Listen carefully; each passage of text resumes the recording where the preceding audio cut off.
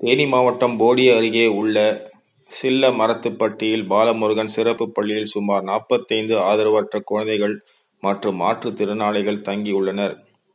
நேற்று திமுக மாநில இளைஞரணி செயலாளர் உதயநிதி ஸ்டாலின் அவர்களின் பிறந்த நாளை முன்னிட்டு போடி நகர் திமுக மாணவர் அணியினர் சார்பாக மாணவர் அணி அமைப்பாளர் ஷேக் அப்துல்லா மாற்றுத்திறனாளிகளுக்கு சுவைமிகு அசைவ இரவு உணவினை ஏற்பாடு செய்து இருந்தார். இவ்வுணவினை தேனி வடக்கு மாவட்ட பொறுப்பாளர் தங்கத்தமிழ்செல்வன், போடி ஒன்றிய செயலாளர், முன்னாள் சட்டமன்ற உறுப்பினர் லட்சுமணன் ஆகியோர் உணவினை குழந்தைகளுக்கு பரிமாறி வழங்கினர். உணவினை ஏற்றுக்கொண்ட குழந்தைகள் உதயநிதி ஸ்டாலின் அவர்களுக்கு மனமார்ந்த பிறந்த நாள் வாழ்த்தினை கூறினர்.